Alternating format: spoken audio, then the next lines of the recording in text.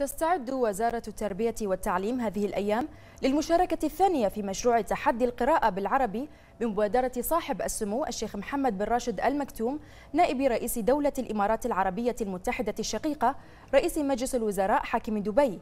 حيث تبذل الوزارة والمدارس جهودا كبيرة للاستعداد لهذا الاستحقاق في دورته الثانية خاصة أن طلبة الوزارة ومدارسها قد حققوا في الدورة الأولى نتائج مشرفة. ومن مظاهر هذا الاهتمام والاستعداد زيادة الطلبة المشاركين في هذا التحدي من 18 ألف طالب العام الماضي إلى 23 ألف طالب هذا العام. محمد رشيدات والتفاصيل.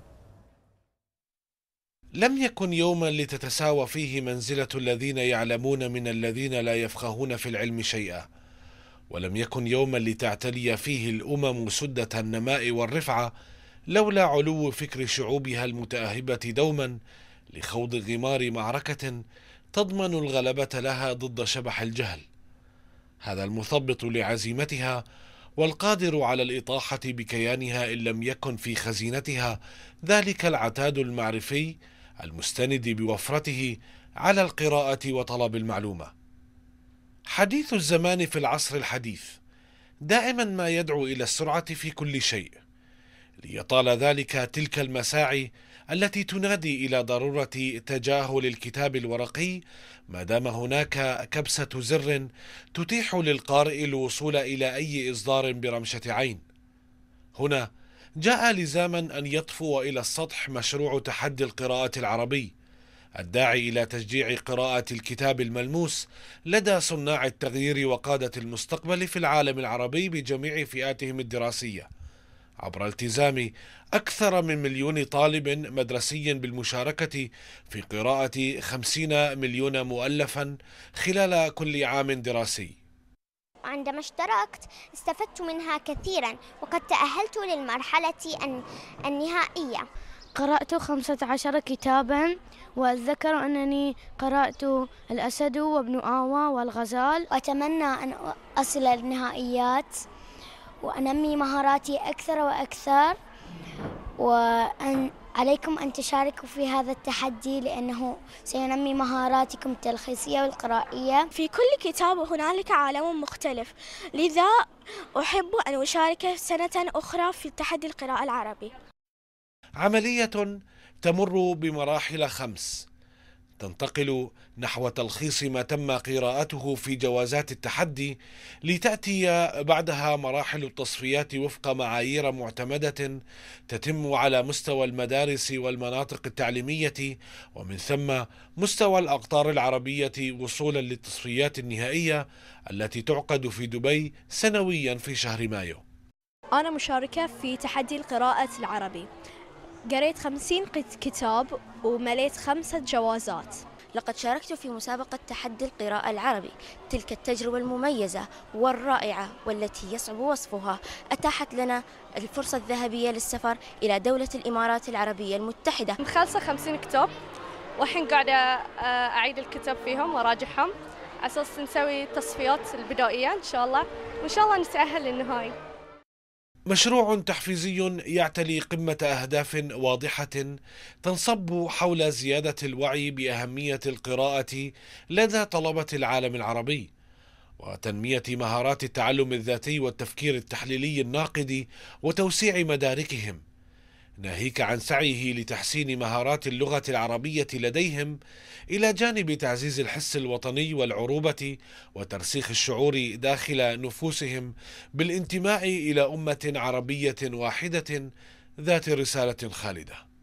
أنا كتجربة مني من كثر ما أنا قريت قصص من قبل تغيرت حياتي 180 درجة. أنصح الكل أنه هو يقرأ نفس ما تغيرت حياتي وتنظمت حياتي اليومية. آه إن شاء الله تتغير حياتكم وتتبدل نفس ما تغيرت وتستفيدون واجد. وعرفت شلون أقرأ في علم النفس وتنمية العقل وتطوير الذات. تحدي القراءة جدا ساعدني ونمى قدراتي على القراءة ويعني تعرفت على كاتبين من كل القصص وفادتني. التحدي ساعدني أطور من نفسي من لغتي العربية الفصحى كثيرا ساعد شجعني للقراءة. الناحية الأولى شجعني حتى أرفع نفسي في اللغة العربية. وبالناحية الثانية ربما الهدايا التشجيعية. استفدت آه وايد أشياء في الحياة العملية وفي الدراسة بعد. مشروع تحدي القراءة بنسخته الثانية.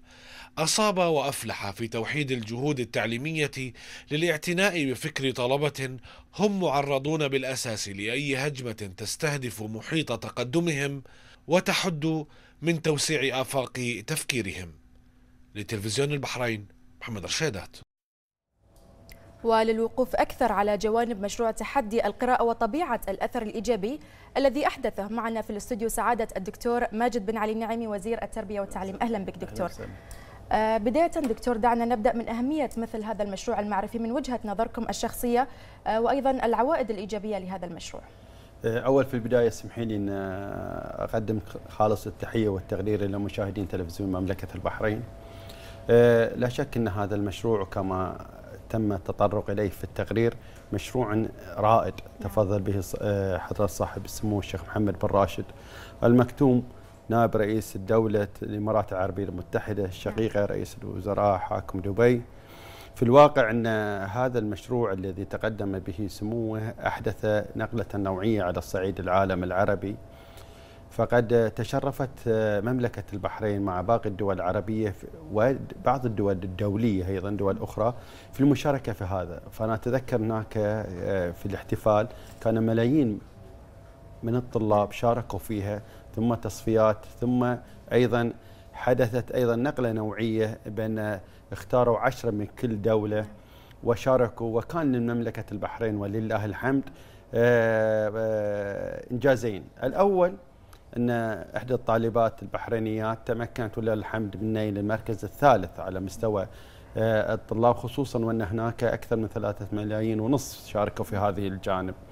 و والذي أيضا يدعو إلى الاعتزاز إن أيضا مدرسة خاصة بحرينية كانت من ضمن أفضل ثلاث مدارس من أصل ثلاثين ألف مدرسة شاركت في هذه آه، المسابقة هذه آه، الإنجاز الكبير هذا الإنجاز الكبير الذي أحدث نقلة نوعية بحيث أن عزز مفهوم القراءة نعم. فنحن أيضا كما تعرفين أختي الفاضلة آه، أمة أقرأ الذي نعم. أعزنا الله بكتابه الكريم فبالتالي هذا ينسجم مع تعزيز الاهتمام باللغة العربية واللغة العربية هي أيضا تعطي أفاق أكبر للطالب. نعم. فكان هناك إنجاز بحريني آه، شارك فيه آه، زملائي سواء كان في وزارة التربية أو في المدارس أو أبناء الطلبة. فلهم مني اليوم أكرر شكري وتقديري لهم أيضا.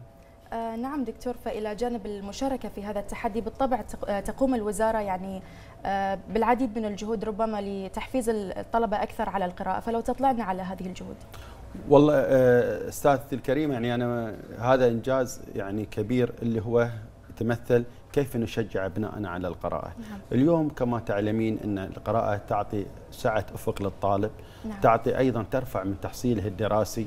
لذلك وزارة التربية والتعليم لها عدة مشاريع على هذا الصعيد، الهدف منها تشجيع وتحفيز نعم. أبنائنا الطلبة والطالبات للاتجاه للقراءة.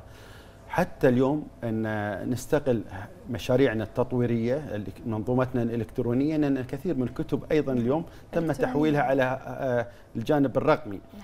لذلك فوزارة التربية والتعليم بشكل مختصر أبين لك أكثر من جانب، الجانب الأول إحنا عندنا حوالي 209 مدارس، نعم. كل مدرسة فيها مركز مصادر تعلم. هذا المركز فيه كتب، فيه أيضا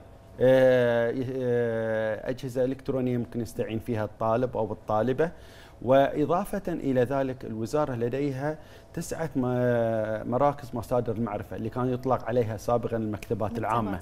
هذه المكتبات فيها جزء أيضا مخصص للأطفال في حوالي لو حسبناها أكثر من 95 ألف كتاب نعم.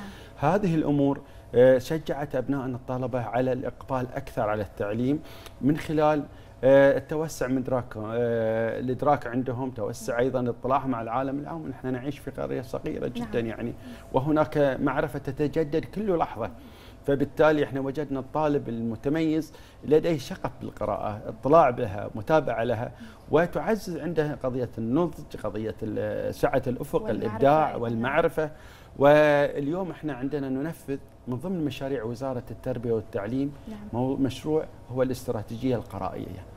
آه تطبق في حوالي آه أكثر من 112 آه 112 مدرسة نعم. في المرحلة الابتدائية وميزة هذه ان قامت وزارة التربية والتعليم إضافة إلى ما إلى الكتب الموجودة داخل مراكز مصادر التعلم قامت وزارة بتوزيع أكثر من 2500 كتاب وتدريب المعلمين وتدريب الطلبة على أساس القراءة المجتمعية وفي مبادرات داخل المدارس إن خلال الفسحة الدراسية نعم. يأخذون ركن داخل حديقة المدرسة ويقومون أيضا باتاحه فرصة للطلبة والطالبات آه، اطلاع على بعض الكتب مناقشة نعم. بعض الكتب آه، أنا أعتقد إحنا محتاجين دائما إلى دعم إخواني الكرام أولياء الأمور في تحفيز أبنائهم الطلبة والاستفادة مما نعم. توفره آه، وزارة التربية والتعليم من قبل كل الإدارات المعنية بتشجيع ابنائنا الطلبة لأن في الأخير كل ما استطاع الطالب